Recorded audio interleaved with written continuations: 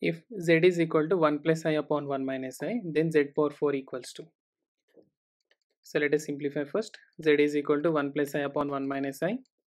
So multiply and divide with the denominators conjugate. That's 1 plus i plus 1 plus i upon. So which is equal to 1 plus i whole square upon 1 minus i into 1 plus i is 1 square plus 1 square which is equal to 1 plus i square plus 2i upon 1 square is 1 1 plus 1 that is 2 so which is equal to 1 i square value is minus 1 plus 2i upon 2 so 1 and 1 gets cancelled and 2i upon 2 which is equal to i. So we can also remember 1 plus i upon 1 minus i is equal to i and 1 minus i upon 1 plus i is equal to minus i. These are some standard results. You can just remember them.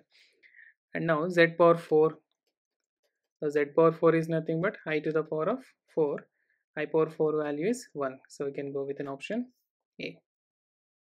Please like share subscribe and support us. Thank you